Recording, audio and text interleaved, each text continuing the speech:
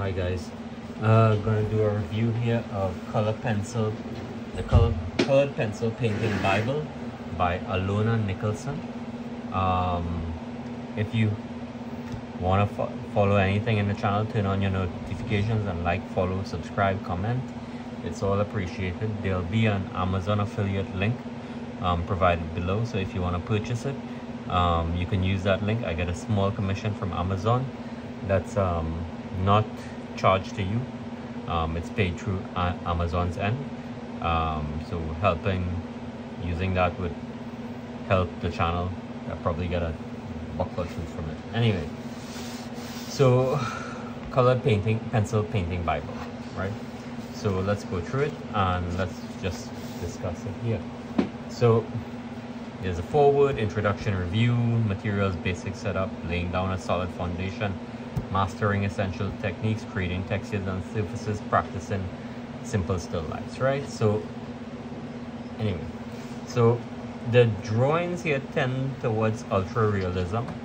Um, tech, uh, the, as the book says, techniques for achieving luminous color and ultra realistic effects. So there tends to be ultra realism here. So um, as you can clearly clearly see. Um, I like that, but I don't necessarily go for ultra realism. Um, it's just, I think it's really demanding. Anyway, she goes through some of the materials, what you need to use, solvents and stuff like that. The drawing boards, um, mounting paper on a sturdy surface, those kind of things. She does a lot. Um, she discusses values and colors, textures and patterns, um, focal points. So there's a bit of a discussion here with with um, composition, color without confusion, and she talks about how to do your own color wheel.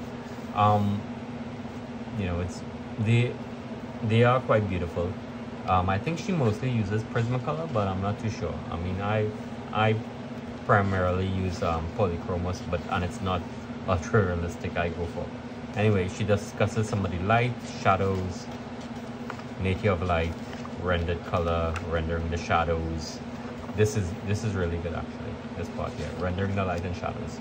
Because a lot of people miss out the shadows and just lay down one, one thing flat. Here she discusses, okay, how to render the shadows, which is applicable across the board. Anyway, basic strokes, wax-based pencils, um, scoring patterns, etc., etc., negative, and different various techniques. I'm just gonna flip through fast because I don't want this video to be too long. Otherwise no one wants to watch a long video.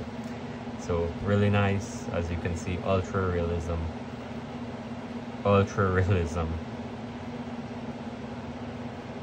Wow. I think I think that's a yeah I can't I can't really tell the difference. I think that it anyway. They are quite beautiful. Um, if you're going for this look, especially in color pencils, this is the book to go for. Look at this. This is super realistic. I mean, you can't even tell unless, you know, it's a painting. You can, it looks so much like a photograph. Um, this again, ultra realistic.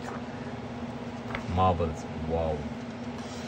Um, yeah, so this is the book I would say for colored pencils if you wanted to go through ultra realism she gives a couple examples here. So we can trace it out follow it. Um, it's a lot of work but I would think would be rewarding as heck. Look at the complexity here. Oh my gosh. Oh that is a lot. Anyway great book. Um, and in the end here she does like a review of various pencils and stuff like that so that is as well with it because you can kind of figure out Caran d'Ache. I think yeah she does Caran d'Ache. I, thought she might have had Derwent Caran d'Ache. Uh, I think she has the Prismacolor here yeah Polychromos sorry the Polychromos yeah. So yep she gives a review light fast rating etc etc really good. Um, it's 5 out of 5 especially if you want to learn ultra realism using colored pencil um, as it's a really nice niche book